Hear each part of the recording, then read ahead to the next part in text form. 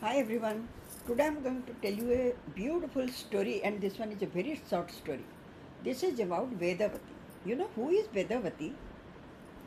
And uh, Vedavati was the main cause of the death of Ravana. So let me tell you.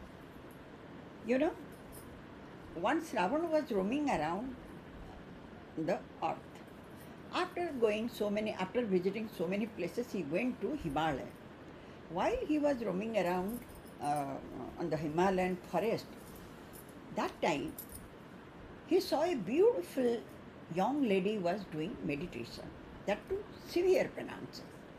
He couldn't understand, and by that time, looking at uh, her beauty, he was completely uh, lost his sense, and he thought of. I mean, he became very desirous to make her. Uh, to make that lady his own consort. So that is why he came near to that lady and asked the, oh lady, oh beautiful one, what were you are doing so much hard penances and that too all alone in this Himalayan forest? Then Vedavati immediately, that too Ravana also said, look, you are young, you are so beautiful and you are fit to be a queen. And if you agree, I want to marry you. Then Vedavati said, Ki, O Ravana, I am the daughter of uh, Kusadhwaja. Kusadhwaja is my father and he is son of um, Brihaspati. And my father was constantly chanting the Vedas. At that time I was born. And that is why, means I was born from that uh, speech. And that is why he has given my name Vedavati. And yes, you know what?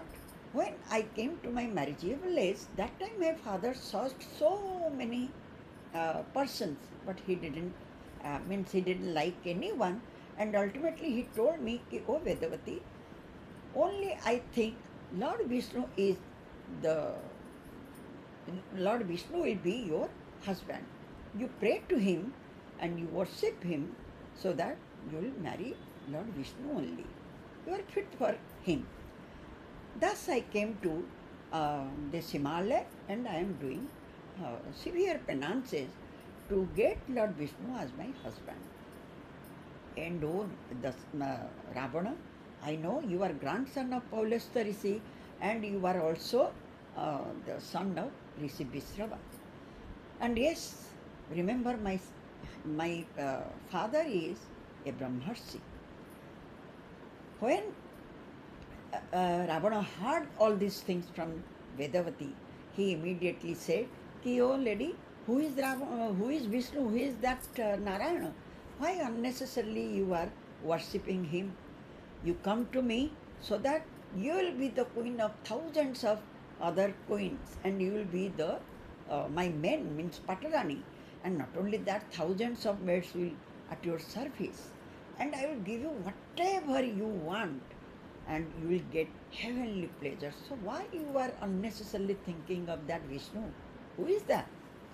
When Ravana said this, and uh, Vedavati said, what may come, only I will marry to Vishnu, and you are not supposed to say a single word, uh, filthy word against Lord Vishnu.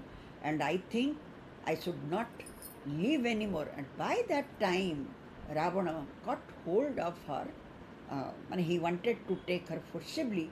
He got hold, he became so desirous that he couldn't control his sense and he got hold of her hair.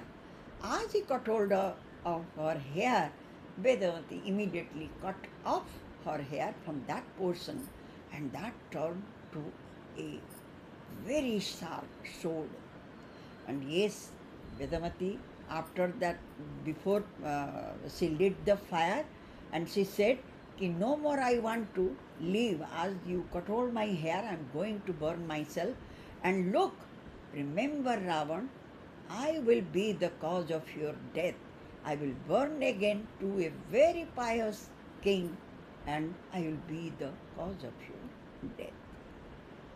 Thus, she also mentioned that because of her yogic power, she knew who Ravana was.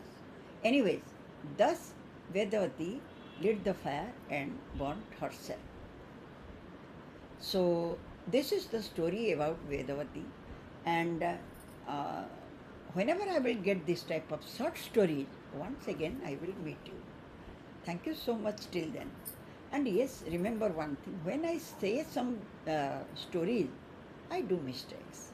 So please ignore my mistakes and watch the content. Thank you so much.